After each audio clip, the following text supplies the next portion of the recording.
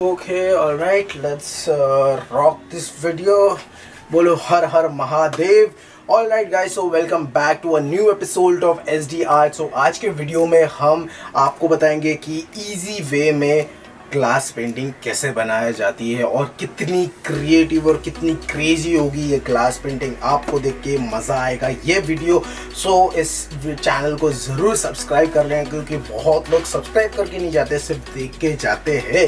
सो आगे बढ़ते हैं वीडियो में। सो आज के वीडियो में हम करने वाले यहाँ पे है मेरे पास ये ग्लास बहुत ही हैवी है, क्योंकि ये इतनी थिक है ग्लास और ये आर्ट वर्क मैंने बनाया है। ये है आदित्य योगी शिवा का स्टैचू ये जो आर्ट वर्क है, ये मेरे दिल के बहुत ही करीब है क्योंकि मुझे ऐसा ही कुछ बनाना था और फाइनली ये कुछ रेडी हो चुका और ये कुछ ऐसा लग रहा है। और ये जो खूबसूरत जगह उसके बारे में भी कुछ हम बताते हैं क्योंकि यार ये जो जगह है ना, वो बहुत ही खूबसूरत जगह मतलब कि मुझे इस जगह पे पर्सनली जाके विज़िट करना है। मुझे ये जो स्टैचू मैंने आज आर्टवर्क बनाया है, उसे विटनेस करना है सामने। मतलब कि ये ए फोर साइज़ में है। और जो स्टैचू है वहाँ पर, वो 112 फीट ऊँचा स्टैचू है। मतलब कि आप सोच भी नहीं सकते हो, इतना बड़ा स्टैचू है। वो स्टैचू की खास बात क्या मालूम है क्या? पूरा नेचर के करीब है मतलब कि बैकग्राउंड में अच्छे, खूबसूरत से पहाड़ा सा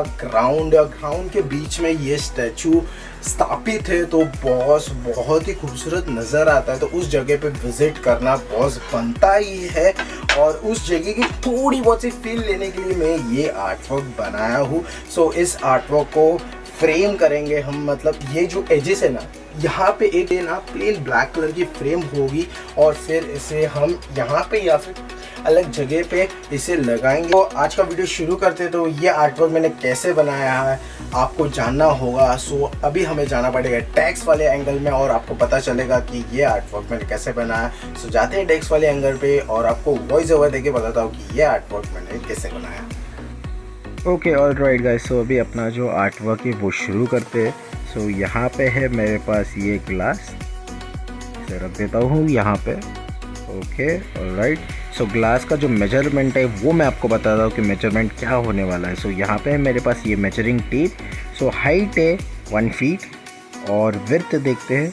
विर्थ है eight centimetre okay so so, यहाँ पे हमने हाइट का मेज़रमेंट ले लिया। सो so, अभी जो आगे का प्रोसेस है उसके लिए हमें लगेगा जेरोक्स शीट मतलब कि जो आर्टवर्क है उसका हमें करने पड़ेगा जेरोक्स तो यहाँ पे है मेरे पास जो आर्ट वर्क शिव जी का photo. Okay all right so इसे मैं रख देता हूँ। अभी ग्लास के पीछे सो so, ग्लास थोड़ा हैवी है तो उठाने में प्रॉब्लम होता है। सो so, अच्छे से सेंटर देखिए और फिर उसके बाद उसके ऊपर ग्लास रख लीजिए। क्योंकि एक बार ग्लास रख दिया अच्छे से सेंटर में फिर उसके बाद हमें बेस कोट करना है। सो so, यहाँ पे आ चुकी है ड्राइंग अच्छी तरह से सेंटर में तो मैं अभी यूज़ करूँगा एक्रेलिक कलर बेस कोट करने के लिए। तो सब कुछ रेडी हो चुका है।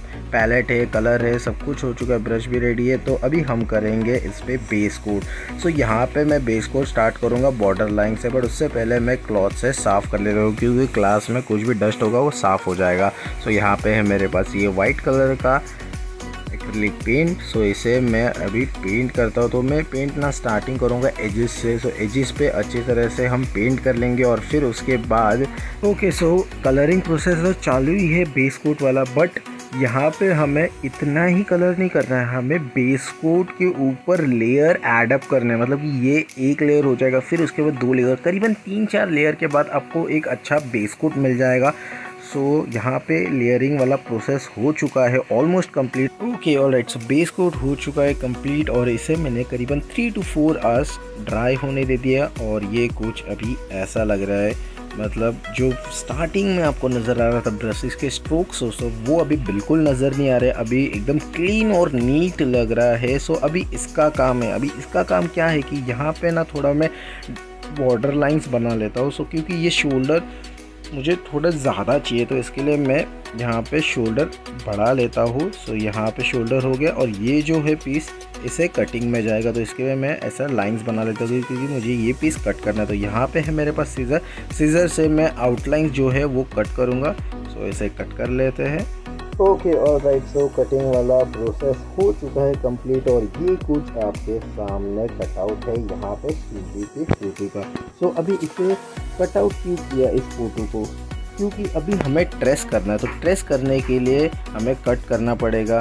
तो इसके लिए मैंने अच्छी तरह से कट आउट कर लिया। सो यहाँ पे हम देखते हैं कि हमारा जो एजेस है, वो प्रॉपरली कट हुआ है कि नहीं। कैसे चेक करना कि ये जो कट आउट है, उसके ड्राइंग के ऊपर बेस कोट के ऊपर रख देते हैं और चेक करते हैं। सो कटिंग प्रोसेस एकदम अच्छी तरह से क्लीनली कट हो चुका और अच्छे से साइज़ में फिट हो रहा है। तो यहाँ पर मैंने अभी जो कट आउट है, उसके ऊपर मैं करूँगा ब्लैक पेंसिल से स्क्रिबल स्क्रिबल से क्या हो जाएगा कि जो ब्लैक प्रिंट है ना, वो अपना जो ड्राइंग पे आ जाएगा। ट्रेसिंग वाला इफ़ेक्ट जैसे कि मैं आपको बताया था मेरे पुराने वीडियो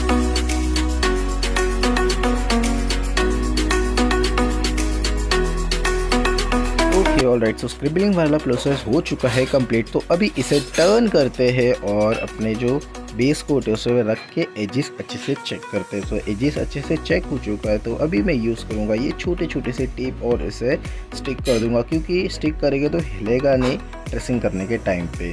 सो स्टिक हो चुका है तो अभी मैं यूज़ करूँगा ये बॉल पेन बॉल पेन क्योंकि मुझे मार्किंग्स करने पड़ेंगे और मार्किंग्स करूँगा तो पीछे हाईलाइट मतलब ये ट्रेस हो जाएगा। थोड़ा प्रेशर अप्लाई कीजिए मार्किंग करने के टाइम पे।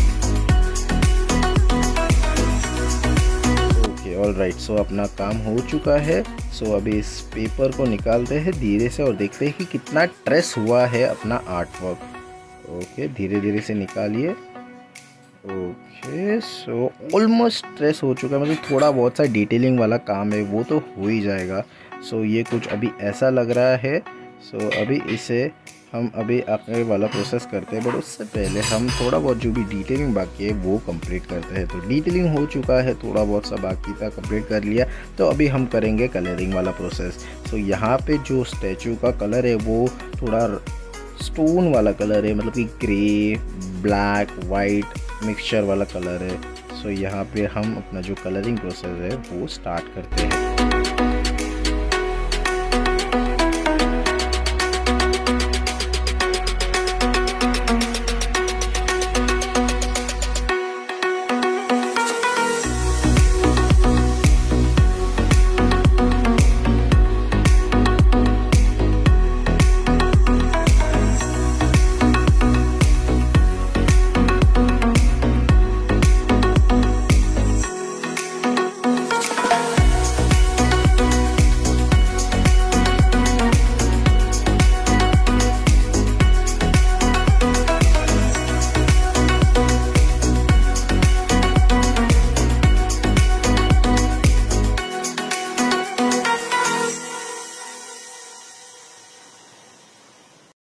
ओके सो कलरिंग वाला प्रोसेस हो चुका है complete so enjoy the B rolls